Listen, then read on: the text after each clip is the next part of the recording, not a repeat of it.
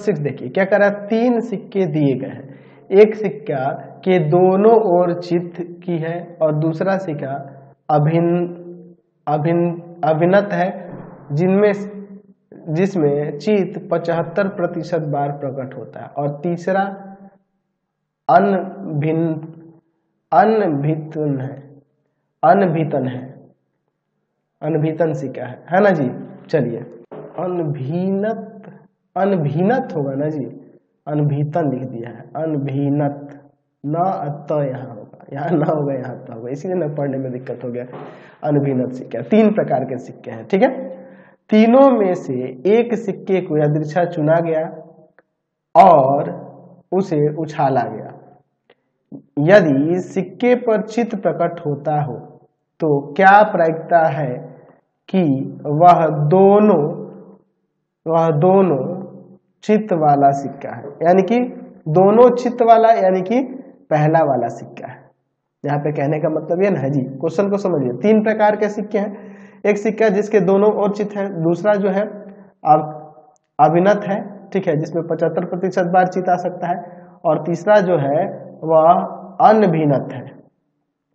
ठीक है?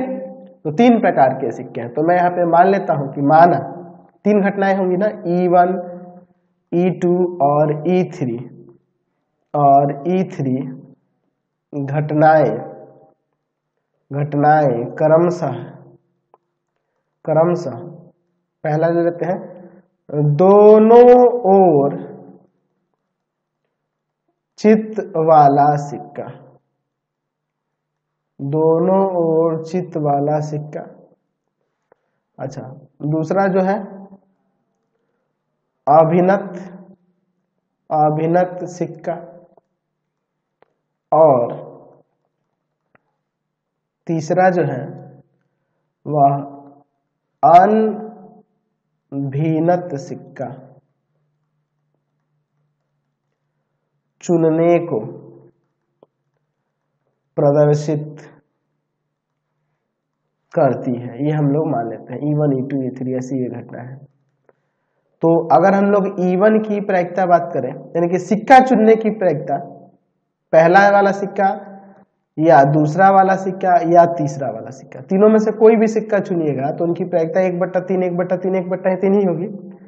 चलिए यहाँ पे मान लेता हूँ कि घटना ए किसको प्रदर्शित करती है?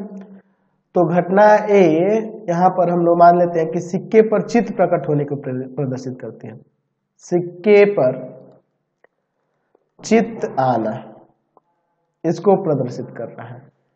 तो अगर हम लोग ए बाई ईवन की बात करेंगे तो दोनों और जब चित्त है तो उसकी ईवन जो ईवन यहाँ देख रहे हैं, जो पहले वाला सिक्का जो है, उस पर दोनों ओर चित्त है तो उसकी प्रायिकता तो एक हो जाएगी। क्योंकि चित्त है, दोनों ओर है और चित्त आएगा ही। ए बाई ई टू तो इसका पचहत्तर प्रतिशत चांस है ना, आपके क्वेश्चन में कह रहा है जी। पचहत्तर प्रतिशत। यानी पचहत्तर बट्टा में सौ। यहाँ तीन और यहाँ चार। तीन बट्टा चार इसकी प्रायिकता हो गई। ठीक है?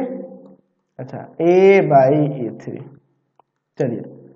तो सिक्का हम लोग चुन रहे हैं तीसरे प्रकार का। यानी कि अनभिनत सिक्का है। तो अनभिनत सिक्का है, यानी कि एक तरफ़ चित्त एक तरफ़ पट होगा, उससे कोई दिक्कत नहीं। तो इसकी प्रायिकता यहाँ चित्त आने की प्रायिकता एक बटा दो हो जाएगी।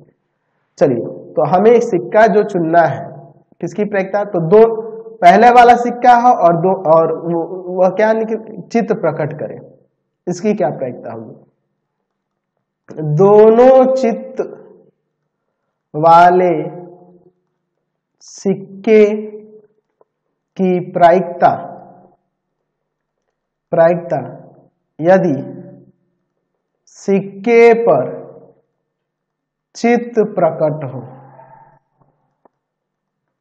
तो क्या हो जाएगा?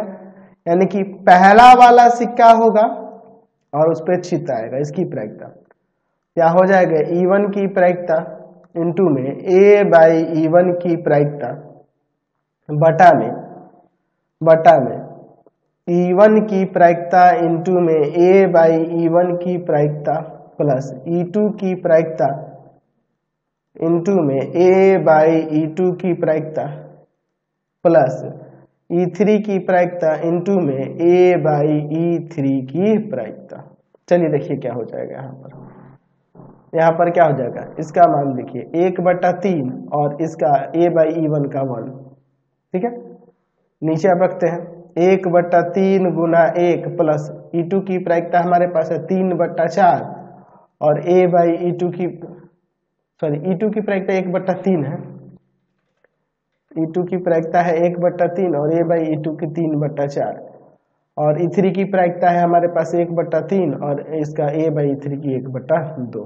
चलिए अब इसके बाद देखिए एक बट्टा तीन गुना एक, नीचे सब में देखो ना एक बट्टा तीन है कॉमन कर लेते हैं। एक प्लस तीन बट्टा चार प्लस एक बट्टा दो। ये एक बट्टा तीन, एक बट्टा तीन कट गया। ऊपर एक और नीचे इसको एलसीएम लेके जोड़ देते हैं। एलसीएम चार हो जाएगा। चार प्लस तीन प्लस दो। ये चार ऊपर चला जाएगा और नीचे ये चार दो छह तीन नौ, चार बट्टा में नौ इसकी प्रैक्ट आ गई। समझ गए? Question number